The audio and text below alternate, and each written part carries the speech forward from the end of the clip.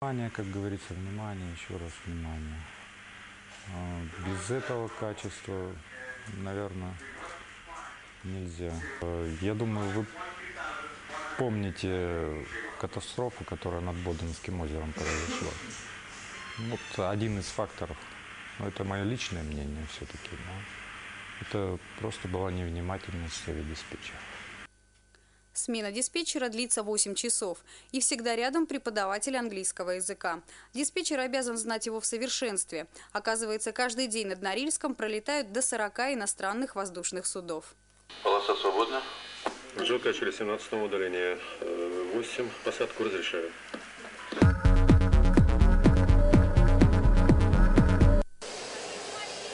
Самый долгожданный для каждого пассажира момент – посадка в самолет.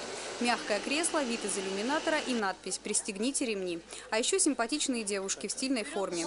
Многие считают, что основные обязанности бортпроводников – обеспечить пассажиров прохладительными напитками и горячим питанием. Это не так. Главное – безопасность полета и общение с людьми, которые бывают весьма мнительными. На памяти каждого бортпроводника не одна подобная ситуация. Например, когда включили вентиляцию и пошел сильный дым с полок. И пассажирка при взлете подскочила, давай все бросать. И то есть, а мы не поняли сначала, что случилось. Она потом давай кричать «пожар». И то есть э, люди все, у них была такая реакция, что и вправду пожар начался, но мы их успокоили как бы быстро. То есть объяснили, что это вентиляция воздуха, но почему-то реакция была другая. Профессия бортпроводника окутана ореолом романтики. С одной стороны, это действительно возможность побывать во многих городах и странах. С другой – полет на ногах, перепады давления и редкое появление дома. Что интересно, по словам почти всех бортпроводников, норильчане – самые капризные и избалованные пассажиры. Во время норильского рейса присесть и отдохнуть практически не удается.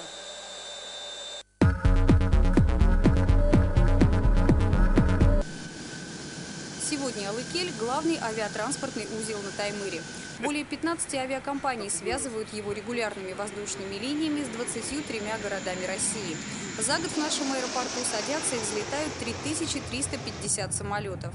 Геннадий Савицкий, командир экипажа, летает уже 27 лет. Еще вчера был в Анталии, сегодня в Норильске.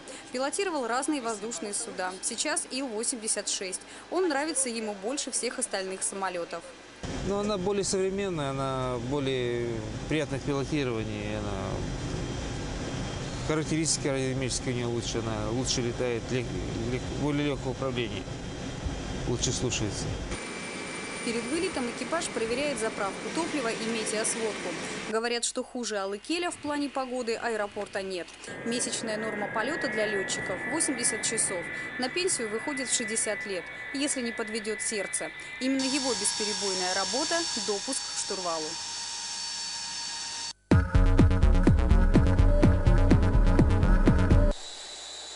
Есть в авиации такой профессиональный термин – высота принятия решения. Это предел, на котором можно либо разрешить посадку, либо нет. В каждом аэропорту и для каждого воздушного судна есть свой минимум. И есть такие профессии – любить самолеты. Все служащие аэропорта не представляют свою жизнь без этой работы, которая для них настоящий наркотик. Один раз преодолев разбег по взлетке длиной в 3,5 километра, назад дороги уже нет. И на какой высоте было принято решение посвятить свою жизнь небу, абсолютно неважно.